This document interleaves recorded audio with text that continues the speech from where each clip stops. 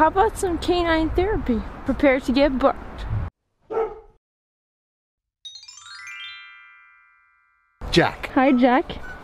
Jack is about four. He's mostly husky, but he seems to have a bit of shepherd. Uh, Very beautiful. Oh, he he talks occasionally, but he doesn't like. He, he's because I have treats and I'm verbal. holding them. That's it. Yeah, yeah. Comes into the house. Sometimes we go over and have a little chat.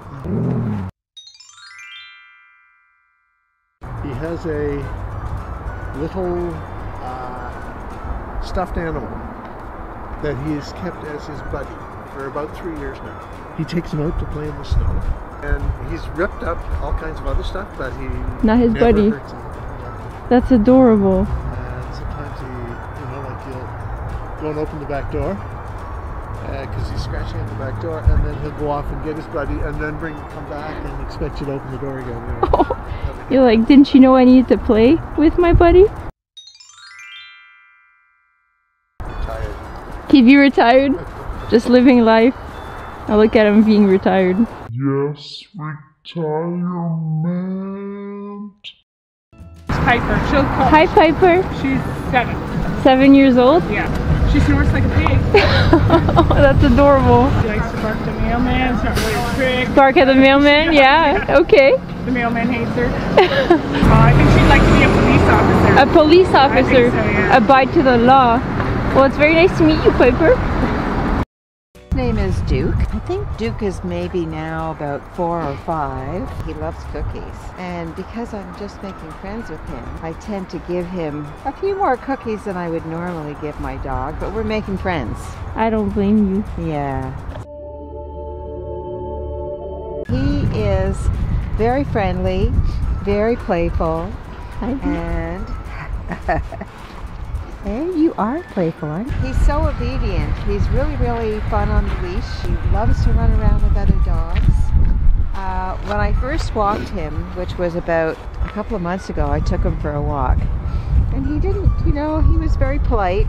Didn't show me as much affection as this time when I came to see him. And he went, Oh, yeah, I like walking with her. What would you be?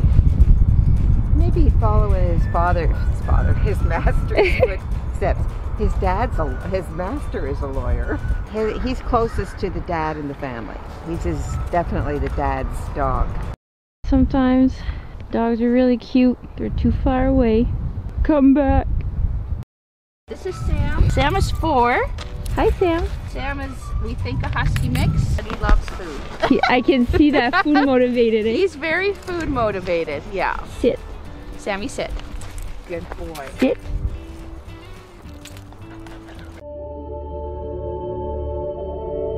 His quirk.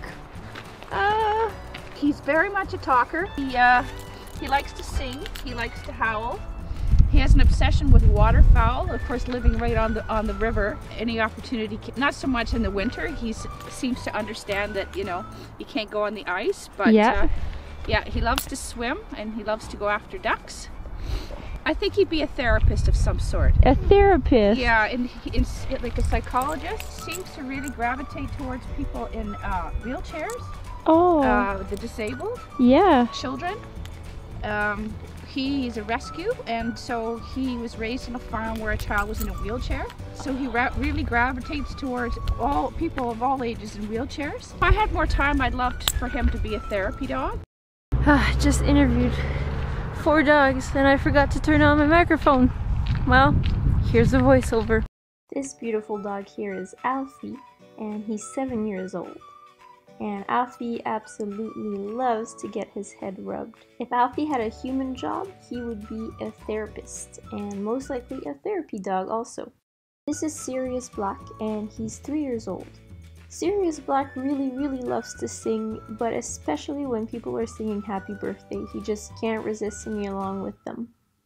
Sirius Black also loves bones, and when he's given a bone, he actually gets so overwhelmed that he starts to cry and he doesn't really know what to do with it. He's just so moved by his bone. If Sirius Black was a human, he would most likely be an artist. This is Dexter, and he's three years old. Dexter's quirk is that he's really a lap dog, to the point where when he's riding in the car, he absolutely needs to sit on his owner's lap. If Dexter was a human, he would most likely be a Walmart greeter.